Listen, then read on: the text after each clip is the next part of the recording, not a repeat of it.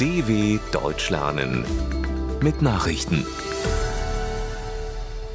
Dienstag, 14.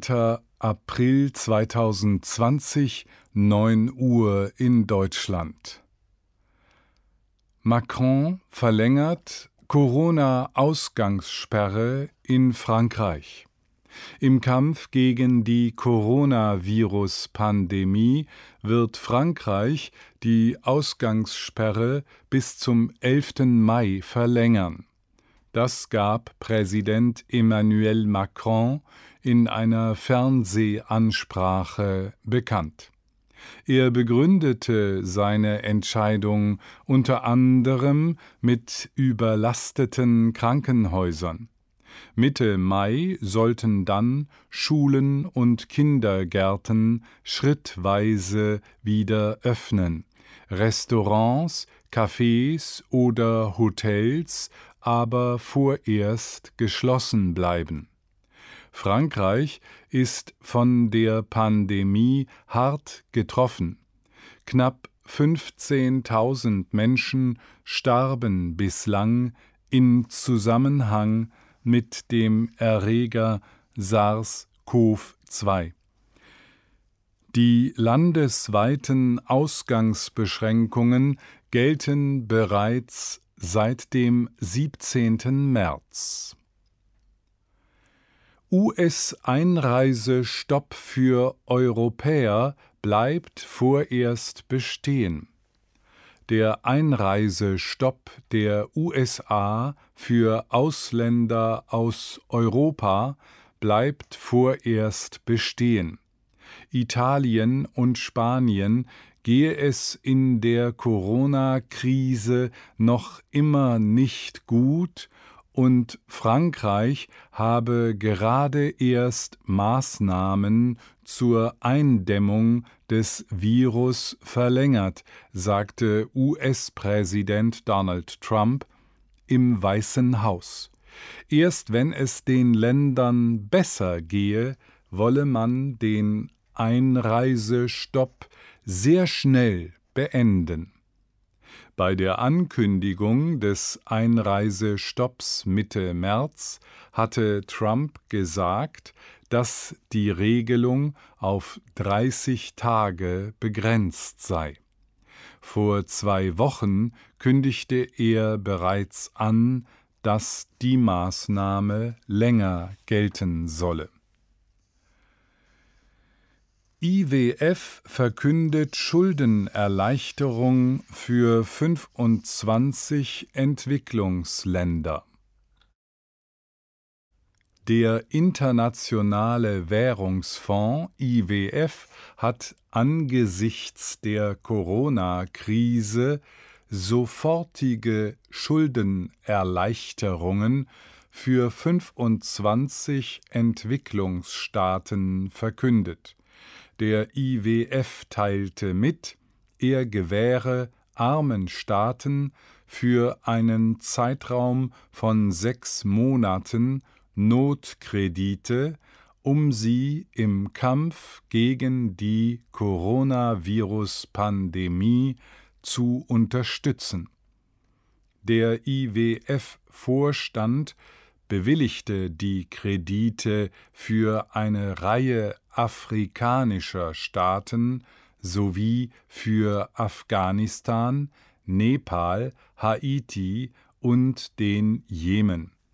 Das Geld kommt aus einem 2015 für den Katastrophenfall geschaffenen Fonds, der insgesamt 500 Millionen Dollar umfasst.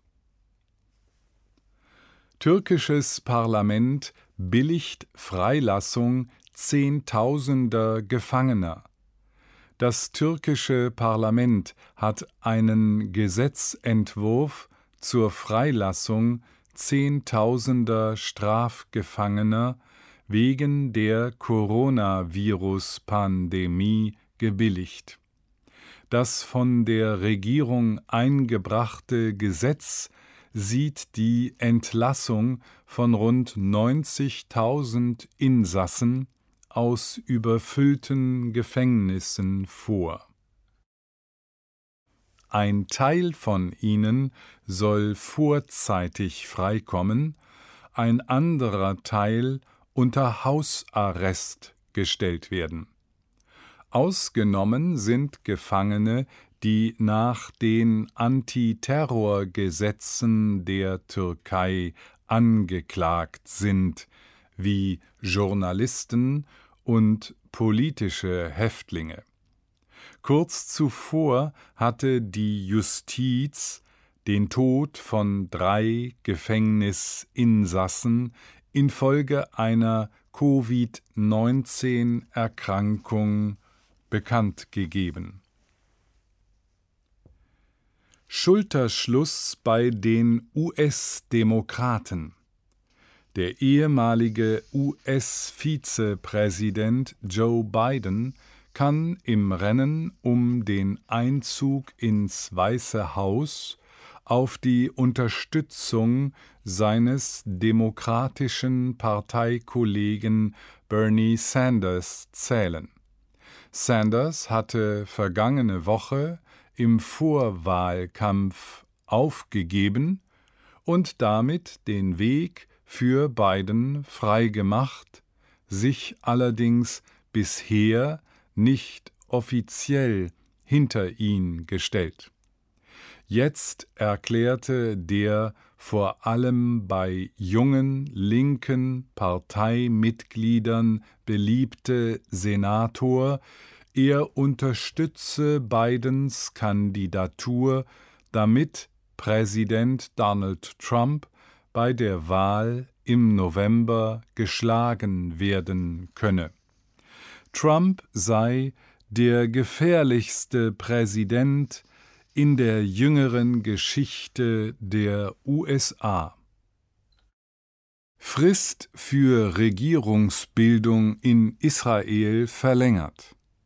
Der israelische Präsident Ruvi Rivlin hat die Frist zur Regierungsbildung für den Oppositionskandidaten Benny Gantz um 48 Stunden verlängert.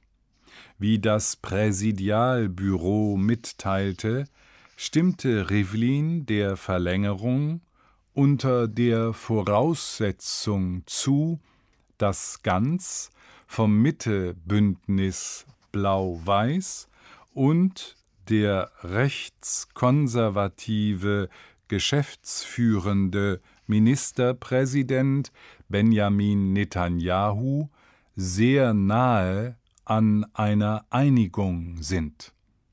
Die beiden Politiker gaben nach einem nächtlichen Treffen eine gemeinsame Erklärung ab, in der es heißt, sie hätten bei der Bildung einer nationalen Notstandsregierung erhebliche Fortschritte gemacht. Soweit die Meldungen von Dienstag, dem 14.04.2020. dw.com/langsame Nachrichten